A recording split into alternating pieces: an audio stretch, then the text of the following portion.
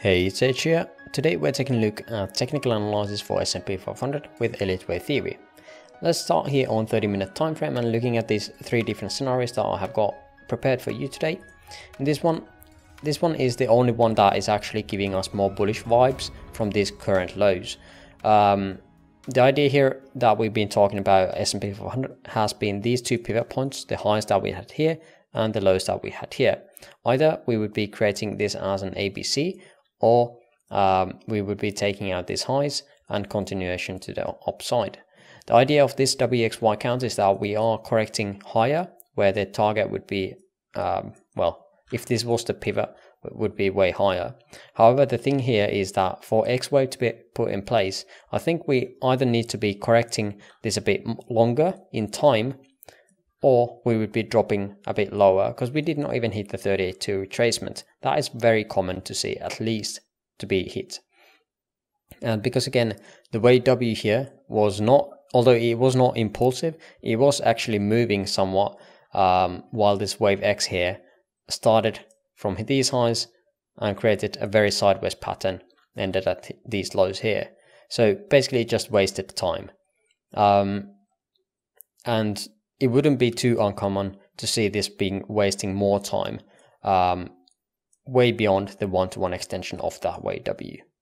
So keep that in mind while thinking that this while this could be the bottom here for this local structure, but again, there is very much of a chance that we could be still ranging for quite some time, especially if, if nothing comes through this week's news events. But I, I feel like that is highly under, uh, unlikely, but we'll see. The other counts were that we had this as a five-way structure here into A wave, B wave here, and then five ways up for that C wave, getting closer and closer to the one-to-one -one extension. Then we would be looking for a structure starting from here.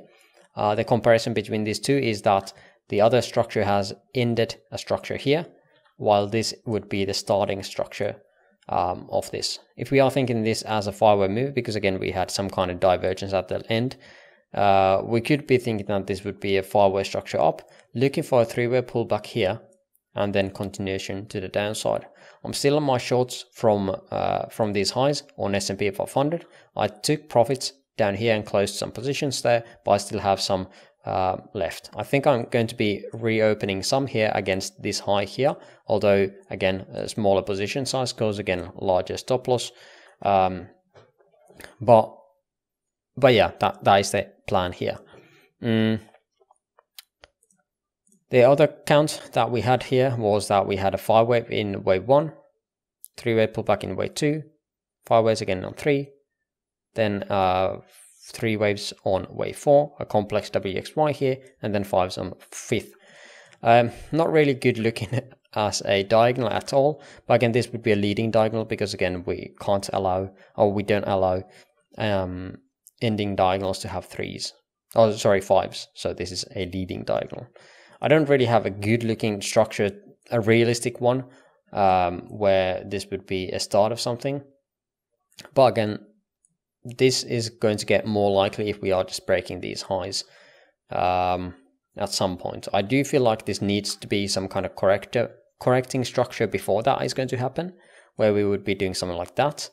Um, because again, this amount of time to correct this whole structure does not really seem too relevant at this point. Um, so I do think that we are going to be needing at least this kind of structure coming down, um, at least, even if not more. But that is the uh, those are the medium time frame uh, structures or the lower time frame structures. Let's zoom in for this very low time frame. Although we have very choppy moves here uh, with the news events, um, one could just look at this structure as fireways somehow. Uh, I haven't really um, label it now because again it is so ugly. Um, there is a chance that this structure here is some kind of triangle. I can't really fit it into account either, but there was also a chance where this was a expanded flat. So these are again um, the ending structures of uh, of impulse waves. Again, triangle can be only appearing in wave four. It is more common to see also a flat structure in impulse waves at the end of wave four.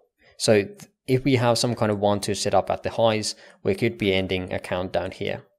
And again, if we are taking out the, into these lows as the fifth wave, we would not even have a uh, truncation against the third here, although this, as this would be the B wave of that wave four, right?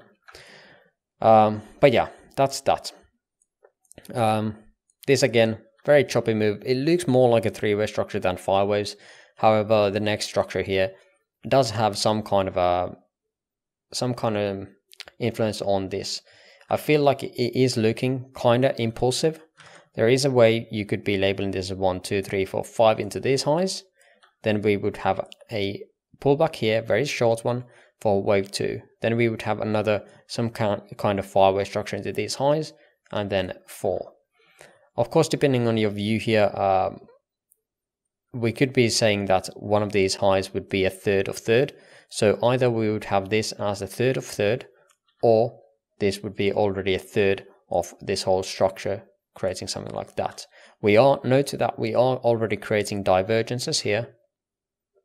Um, so um, most likely some kind of move, at least to the downside, is to happen at some point. Uh, once these uh, divergences are going to be playing out. Of course, if we are just pumping here in RSI as well, um, these divergences are going to get um, removed or cancelled. So then they don't have any effect anymore. And then we can definitely pump higher. But these lower time frames, fives, tens, are giving us divergences here. So that at least is good to keep in mind.